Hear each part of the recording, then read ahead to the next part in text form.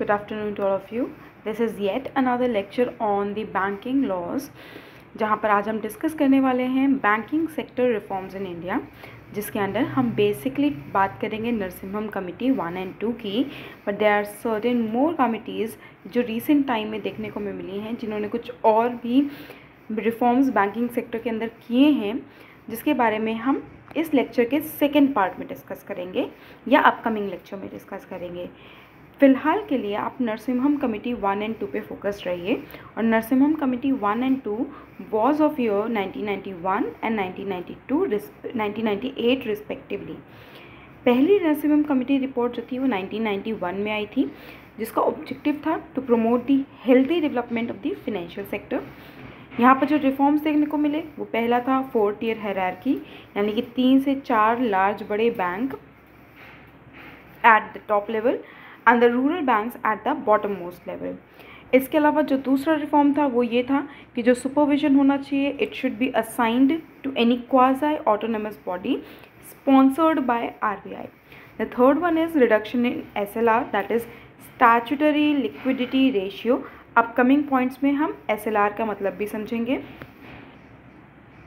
The next reform which it introduced was achieving 8% of CAR that is capital adequacy ratio. The next reform is abolition of branch licensing policy. Next is proper classification of assets and full disclosure of accounts of banks and financial institutions. Next is asset reconstruction fund which was a particular reform introduced by the government of India. Next is now let's talk about individual topics or the points or the reforms introduced by nursing home committee one one by one. पहला था lowering S L R and C R R that is cash reserve ratio ratio पहले हम ये समझेंगे S L R क्या है। S L R minimum percent of वो deposit होता है जो किसी भी कमर्शियल बैंक को मेनटेन करना होता है in the form of liquid cash दूसरा C R R C R R वो होता है जो बैंक का टोटल डिपॉजिट है, किसी भी किसी भी कमर्शियल बैंक का total deposit with the R B I तो इस पॉइंट की एक्सप्लेनेशन के लिए हमें ये समझने की ज़रूरत है कि पहले तो अगर हायर एस एल आर और हायर सी आर आर होगा तो उसकी वजह से जो बैंक्स होंगे, उनके प्रॉफिट्स काफ़ी रिड्यूस हो जाएँगे।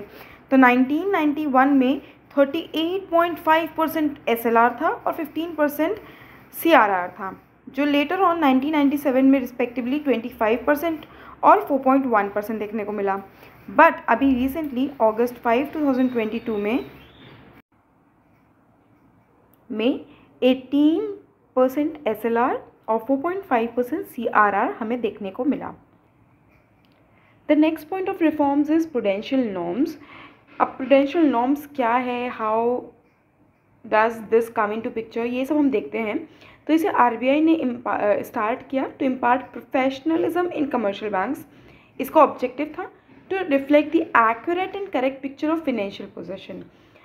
अब द थर्ड पॉइंट ऑफ़ हमारा रिफॉर्म था वो था reduced C A R which is capital adequacy ratio जिसे हम ये कह सकते हैं कि it is a measurement of bank's available capital expressed as a percentage of a bank's risk weighted credit इसका जो ऑब्जेक्टिव होता है, वो ये होता है कि how much capital a bank has available to establish that banks have enough capital on reserve to handle a certain amount of losses तो ऑब्जेक्टिव सी को मेंटेन करने का ये होता है तो हमें ये समझने की ज़रूरत है कि जो तीसरा रिफॉर्म इंट्रोड्यूस किया गया, वो ये था कि सी जो होता है, उसकी जो परसेंटेज है, उसे हमें कम, उसे रिड्यूस करना है। Next point of reform was deregulation of interest rate यहाँ पर ये बोला गया कि जो इंटरेस्ट रेट्स जो बैंक अप्लाई करता है, हर एक बैंक अप्लाई करता है it should be determined on the basis of the market forces the next point of reform was recovery of debts इसके लिए डेट रिकवरी ट्राइब्यूनल्स बनाए गए। अगला रिफॉर्म था लोकल एरिया बैंक्स को इंट्रोड्यूस करना। 1996 1996 के अंदर आरबीआई ने इशू किया गाइडलाइंस लोकल एरिया बैंक्स को इस्टेब्लिश करने के लिए ताकि हम रूरल सेविंग्स को भी मोबिलाइज कर सकें। अगला पॉइंट ऑफ़ रिफॉर्म आपका है सुपरविजन ऑफ़ कमर्शियल बैंक जिसके लिए एक बोर्ड ऑफ़ फाइनेंशियल सुपरविजन होना चाहिए, जो आगे चल के 1993 में डिपार्टमेंट ऑफ़ सुपरविजन में कन्वर्ट हुआ, जो कि एक इंडिपेंडेंट यूनिट है कमर्शियल बैंक के सुपरविजन के लिए। Now let's talk about Narasimham committee report two जो कि 1998 में आई। ये भी एक बैंकिंग सेक्टर कमिटी थी। इसका काम था to review banking reform progress and also to design a programme for further strengthening of the financial system of India अब जो इसके रिकमेंडेशंस थे, वो कुछ ऐसे थे कि हमें बैंक्स को स्ट्रेंथन करना चाहिए, यानी ज़्यादा से ज़्यादा मर्जर्स अमेलगमेशन होने चाहिए। नैरो बैंकिंग को इंट्रोड्यूस किया। इसका मतलब है weak banks will be allowed to place their funds only in the short term and risk free assets capital adequacy ratio को नाइन परसेंट ही होना चाहिए। बैंक ओनरशिप यानी नेशनलाइजेशन की भी यहाँ बात की गई। रिव्यू ऑफ़ बैंकिंग लॉज यहाँ जो बैंकिंग लॉज इंडिया में उस टाइम सस्टेन कर रहे थे, उनके रिव्यू के भी रिकमेंडेशन इस कमेटी ने प्रोवाइड किए थे। साथ ही साथ इसने, इस कमेटी ने ये भी रिकमेंड किया कि हमें अपने बैंकिंग इंडस्ट्री का फास्टर कंप्यूटराइजेशन कर देना चाहिए टेक्नोलॉजी को और अपग्रेड करना चाहिए स्टाफ की रेगुलर इंटरवल्स पे ट्रेनिंग होते रहनी चाहिए, जिसके, जिसको ही हम दूसरे लैंग्वेज में प्रोफेशनलिज्म इन बैंकिंग कह सकते हैं। इन्होंने बैंकिंग रिक्रूटमेंट को लेकर भी रिव्यू करने के लिए रिकमेंडेशन प्रोवाइड किया। So these are all the recommendations which proved very crucial in the evolution of banking system और rather we can say in the advancement of banking system in India thank you so much will meet in the next lecture thank you.